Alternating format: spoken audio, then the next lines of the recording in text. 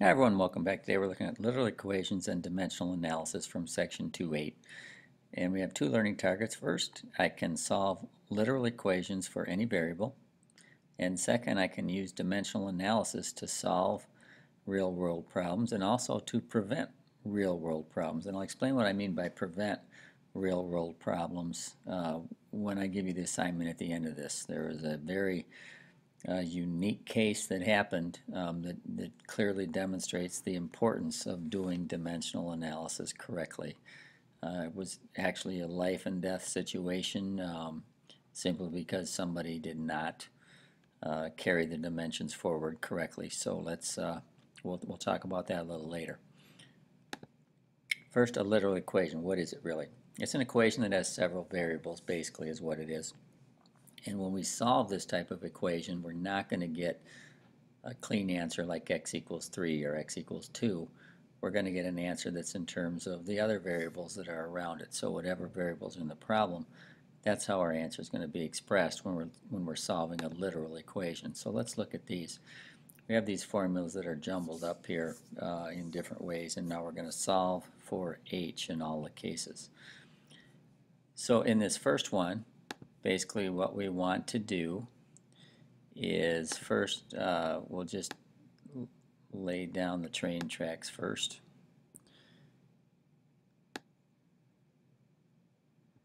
And then we'll go ahead and uh, and solve. So now uh, in this first one um, we want to get h by itself. So basically we can uh, multiply both sides by h first. So when we do that, if we multiply both sides by h, we'll end up here with v equals L W and now times h. Again, we multiply this left side by h on the top and bottom. That would cancel out. We'd be left with v. And we multiply this side by h. We'd have LWH. And now we just divide both sides by LW and we'll be left with h. So if we take this divided by LW and then this side divided by LW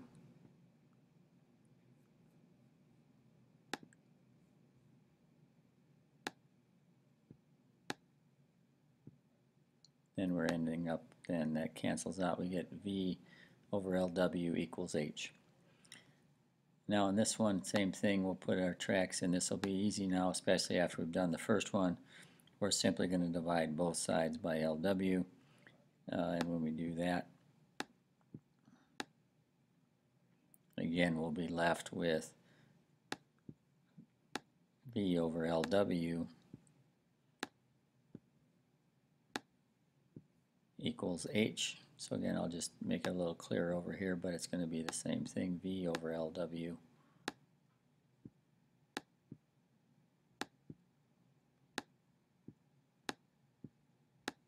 equals H. And over here now, all we simply have to do is just divide both sides by W. And again, we'll end up with V over LW equals h. So we had the same formula jumbled up. And, and I did this for a reason to show that no matter how we do all this up together, what order we go in and things, we're still going to end up with the same solution for h in all the cases. It's going to be v over lw equals h in all the cases. So um, when we're solving literal equations. Again, the key thing to remember is your answer is going to be in terms of the variables that are in the problem. You're not going to get x equals 2. And for some people, they don't like that. They like to have it nice and straightforward. But um, uh, this is more straightforward in some ways because you don't have to actually do any calculations. You're just manipulating the variables um, using the rules of algebra.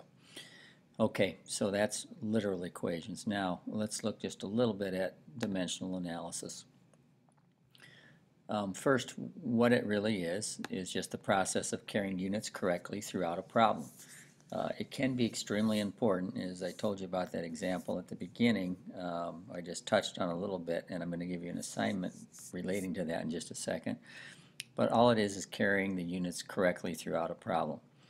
So if you get a question, for example, how many miles in a 10K race? So if you're involved in running at all, or if you've watched running, uh, a lot of the races are in terms of kilometers. And, and sometimes it's nice to know how many miles you're talking about. A lot of people, when they're training, and things will use miles um, to train with, and so that's what they're used to. So they want to have some idea what they're talking about in terms of the distance involved when they're looking at kilometers as well. So in a 10K race, you would start out with 10 kilometers, and then you're going to multiply by equivalent units and, and basically cancel out uh, these units as we go along until we end up with just miles. That's we want to end up with only miles, and then we'll know what the equivalency is compared to 10 kilometers. So, so we can say 10 kilometers, we can multiply that times 1,000 meters per kilometer. That's equivalent, that's equal to 1. There's 1,000 meters in 1 kilometer, so these are, it's equal to 1, so you're just multiplying by 1, so it doesn't change anything, so that's okay to do. We just cancel out the units as we go along. So here, kilometers is in the top and it's also in the bottom, so that can cancel out then we can say that, well, there's 1.094 yards in a meter. And, and again, this is just equal to 1 because it's the same amount on the top as on the bottom. And we cancel out now the units of meters as we go along. And finally then we can say, okay, well there's 1 mile per 1,760 yards. And notice how I'm purposely setting this up so that I can cancel out units as we go. I need a unit in the top and a unit on the bottom. That's why I didn't say 1,760 yards per mile. While that's correct, there are that many yards per mile. Um, that would not allow me to cancel out the units and in fact I'd end up with yards squared and that's not what I want. I want to end up with miles. Now I'm ending up with just miles. So now what we simply do is multiply everything that's left. So we're going to take this 10 and the 1000 and the 1.094 and the 1 and multiply all that together. And when we go ahead and do that, we're going to get 10,940.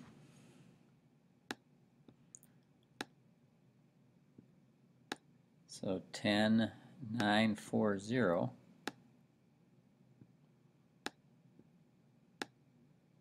on the top.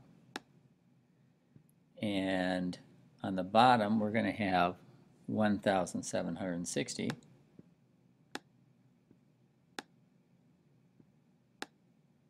and notice our units are still miles.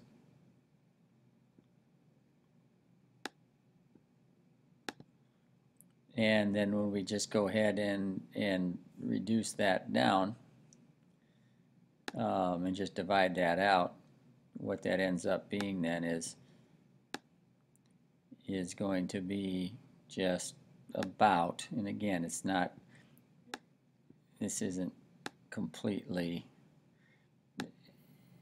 exact it's it's a it's we're we're uh, rounding it off some but it's about 6.2 miles so if you ran a 10 kilometer race that would be about the same as 6.2 miles.